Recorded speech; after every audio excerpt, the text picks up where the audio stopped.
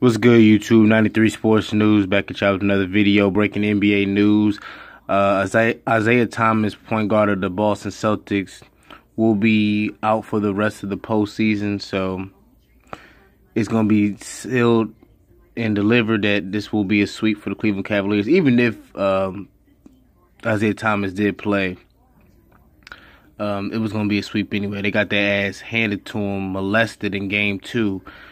And they've been dominated the whole series, haven't even led not one second in this entire series.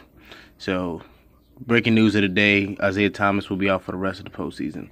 Let me know what y'all think about this in the comment section. 93 Sports News. Our holla. Peace.